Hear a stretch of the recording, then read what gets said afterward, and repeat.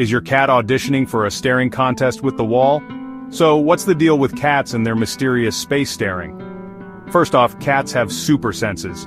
They can see things we humans can't, like tiny bugs or dust particles floating around. But wait, there's more!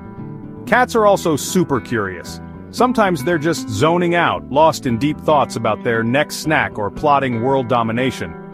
And let's not forget, cats have a keen sense of hearing. They might be tuning in to sounds we can't pick up like a mouse scurrying behind the walls or your neighbor's dog barking. So next time your cat gets all lost in space, relax. They're not seeing ghosts, probably. They're just being their quirky, curious selves. And hey, maybe give them a little head scratch for solving the mysteries of the universe while they're at it. So, cat lovers, what's the weirdest thing your kitty has ever stared at? Drop it in the comments. And don't forget to hit that like button and subscribe for more cat-tastic content.